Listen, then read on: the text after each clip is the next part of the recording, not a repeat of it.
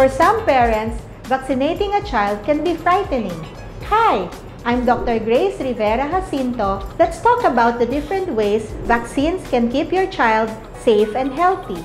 Vaccines go through a great deal of research and testing before being made available to the public. Newborns have some natural immunity, but vaccines help protect them against dangerous bacteria and viruses.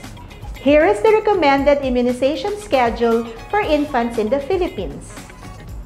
Children 5 years and above can now receive the COVID-19 vaccine to keep them safe from the coronavirus. If you're still worried that your child may experience some side effects, rest assured that they are natural reactions and will eventually go away on their own. Visit Manila Med and feel better with the best. Follow us for more health and wellness information.